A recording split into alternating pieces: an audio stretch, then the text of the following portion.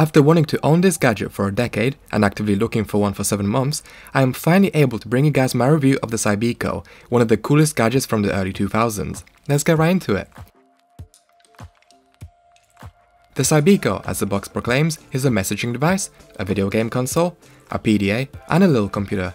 As you can tell by the frankly terrifying faces on the box, this device was marketed to us teenagers.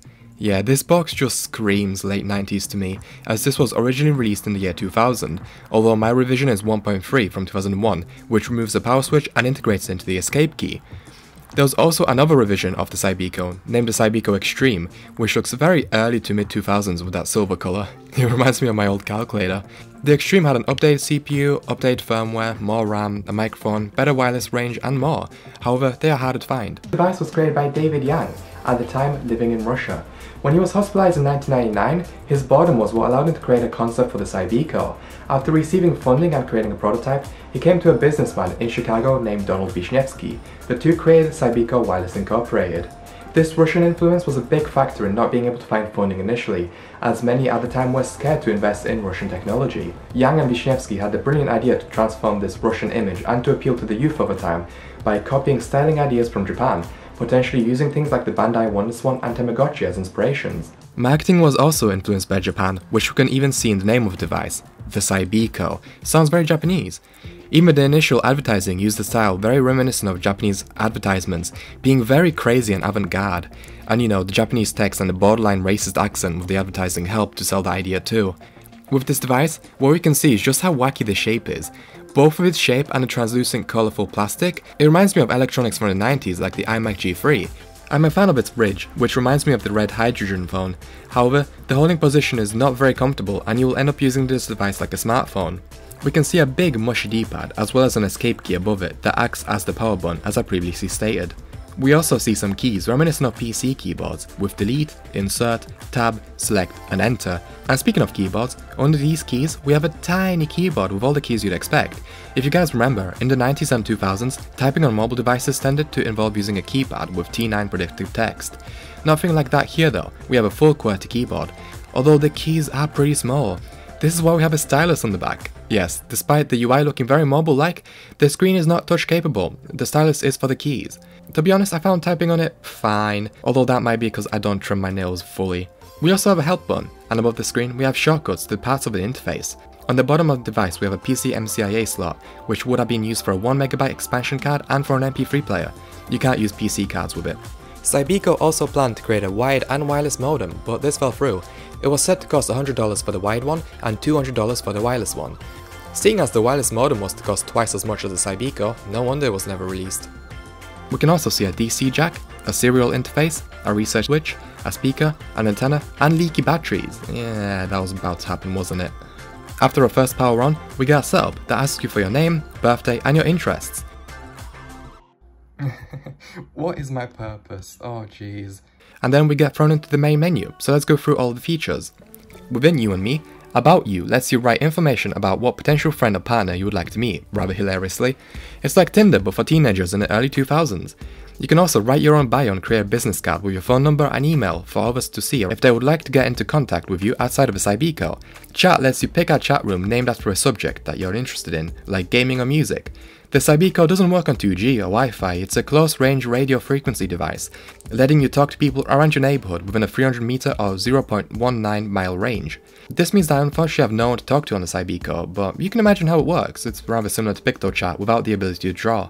Email lets you send and receive emails from your computer, yeah, because of the lack of mobile internet or Wi-Fi, the only way to send emails on this device is via serial cable, which makes it a pretty pointless feature, since you can just use the computer that you have right next to you to send those emails instead, on a better keyboard too.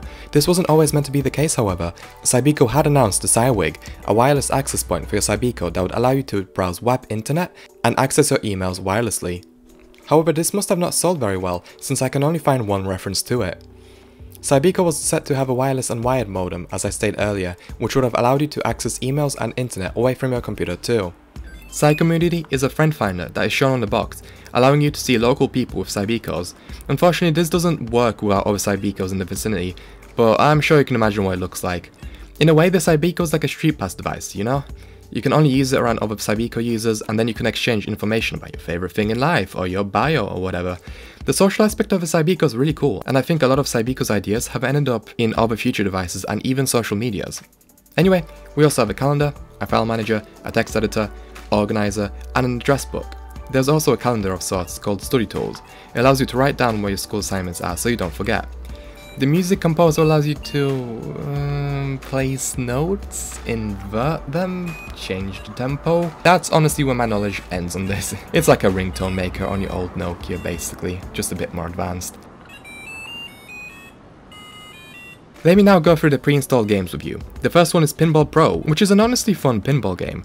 You have to get your ball into these black holes. After you go into the hole enough times, you go up a level. You have to make sure that your ball doesn't fall into the right side by flipping the right paddle.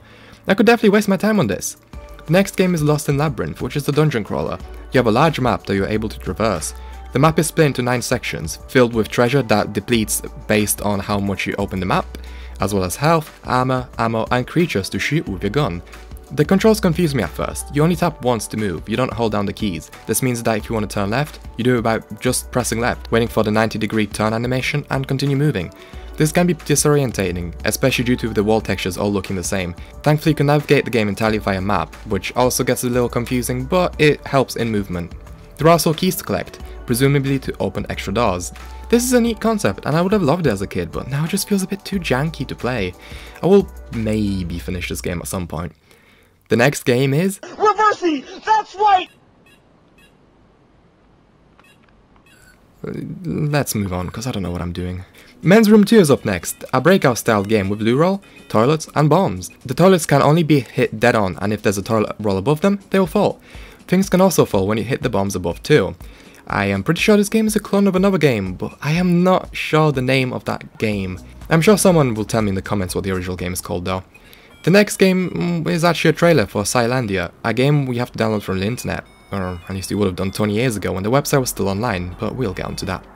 The next game is Cybiko Superbike, an outrun style game where for each stage you have one lap qualifier and then get to compete against AI.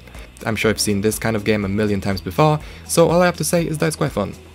Blazing Board is the last game and it's an on-rail game like Subway Surfers. What you have to do is jump onto the ramps and do stunts with the D-pad as well as grind rails and collect things off the floor, all while making sure not to crash. I actually played something very similar to this on a Samsung feature phone, which you guys can check out a video of in the card above. You can then submit your hash card to Best Buy, I guess. So yeah, overall, minus Reversi, all of these games are quite alright to play, to be honest with you. I would have loved this device as a kid, especially since I never owned a handheld console. Unless you count the Asterix and Obelix McDonald's toy as a handheld, then yes, I owned one handheld. Oh yeah, I also did own a PSP. Now, if you want more games, what Cybiko expected you to do is either buy CD bundles with games, or to download them from their website for free. However, as you'd expect, this website hasn't been around for a very long time, and the website that hosted backups of games and programs has been down for months now, and it doesn't look like it'll be back online anytime soon. Thankfully one YouTuber has archived the zip files, and he is the sole reason that I'm able to make this video. I'll drop his archive onto archive.org for any of you with Cybikos or looking to get one. The setup process wasn't plug and play, but it wasn't difficult either. I first tried to install EasyLoader onto my Windows 10 machine, but because it hooks into Explorer, it was broken on newer versions of Windows. I got the software to work on Windows XP, but I had to manually fetch drivers for my serial to USB adapter. I also faced the issue of not having enough storage, since the Cybiko has a tiny amount of storage. But in the end, I was able to load some games onto the Cybiko. Since this collection has hundreds of games, I haven't been able to play even a quarter of them all, but here are the ones I played. The first game I played is Cyrace 2, which is a 3D racing game that is over 100 kilobytes in size, which is large for a Cybiko game. It's certainly an impressive looking game, but it's largely empty to play with how plain the track is and how the gameplay feels. I would probably play again, but with how large it is I probably wouldn't keep it. Bang Ball 2 is a weird mix of tennis and pong, it's quite fast, quite unfair, but quite fun to play and I would play again. Pinball 3 is an evolution of Pinball Pro, feeling closer to XP's Space Cadet with its layout and themes of collecting missions and hitting targets, and yet it somehow feels less fun to play than Pinball Pro. The physics feel floatier and more boring. I think just like with Space Cadet, this relies on having the highest score, there are no levels to go through, but there aren't enough bumpers and targets like on Space Cadet to make it fun. Froggy's Race is another 3D racing game.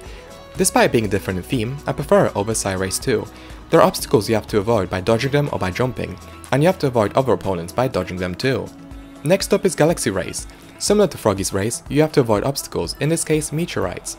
Here however, you can shoot. You have to choose between accelerating or shooting, which gives a strategic element. Would play again. I've also found a game called Skyland, a pretty fun platformer where you have to avoid enemies and objects like mosquitoes and collect all the items on the map. I think they're fruits. It has really nice 2D sprite work and animations and I will absolutely play this again.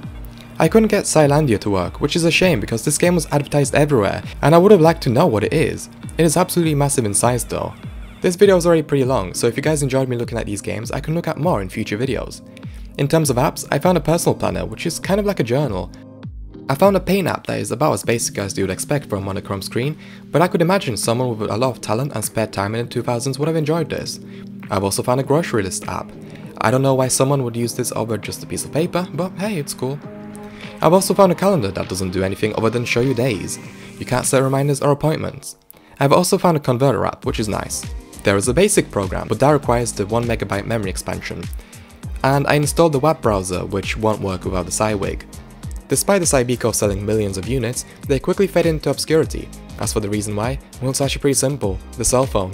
By 2003, phones had SMS, cameras, internet browsing and email functionality. You could use your phone anywhere, not having to be in a close proximity to someone, or having to be tethered to your computer. Prices kept falling whilst phones started to get better and better too. There was no service charges or monthly fees for a Cybiko like with a phone, but in America, phone carriers started to introduce family plans and within the UK, pay as you go is an alternative to paying for an expensive contract. As far as I'm aware, these were never released outside of America and the UK, so I never got to experience one as a child. For those of you who managed to get through this entire video, I hope you enjoyed watching it as much as I enjoyed creating it, and I hope to see you in the next one.